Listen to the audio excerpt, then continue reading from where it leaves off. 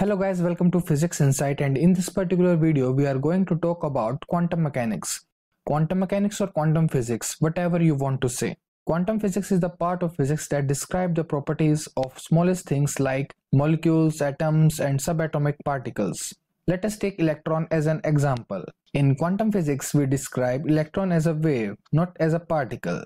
So electron can't be pictured like this. Instead, it should be like this and we call this as wave function.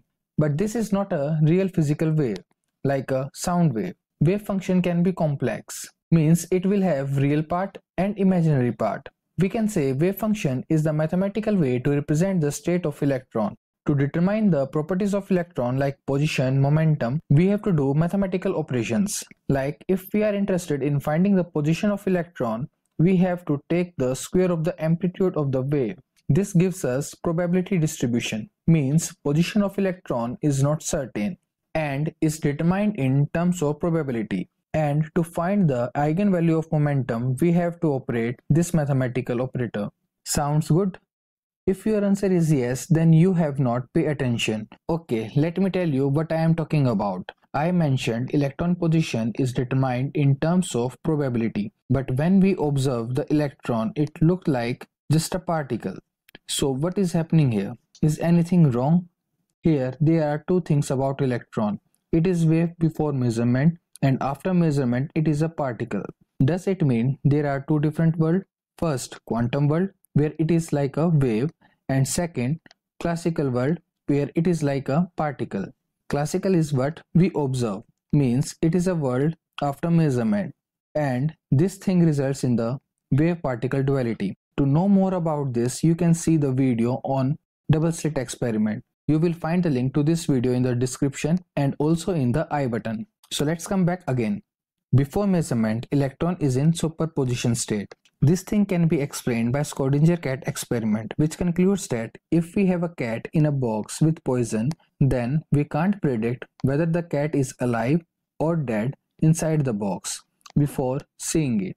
Till this point we have superposition of two states and after observation this wave function collapse and we get to know whether the cat is alive or dead. So this is the Schrodinger cat experiment. And from this we can say that superposition exists till the point we measure. After measurement the superposition is not present and there is only a one state. Like in the Schrodinger cat experiment either the cat is alive or dead both things not possible simultaneously. So after measurement, our wave function collapse. This is what I want to say. Now let's come to another thing, quantum tunneling. If we have electron inside our infinite 1D potential well, it is not possible for electron to penetrate the wall. But if we have finite potential well, then there are chances that electron can penetrate the wall, which is not found in the classical world. You can see this thing in detail in this video.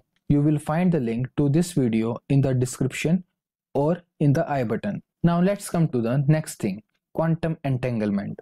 It is a physical phenomena which occurs when a pair of particles interact in such a way that quantum state of the pair can't be described independently. Quantum entanglement represents the relationship between the fundamental property, means knowing the measurement like spin of one particle we can predict the spin of other particle and this prediction doesn't depend upon the distance between the two particles. Information will be shared and we can always predict about the state of the second particle. You can see the video for more details. You will find the link in the description or in the I button. And till this point of time you are thinking quantum physics is just crazy. And it's true. In fact, it's not easy to visualize the quantum physics in the first time it takes time. And now we are over for this video. If you like the video, don't forget to hit the like button and do subscribe to the channel. Hope to see you guys in the next video.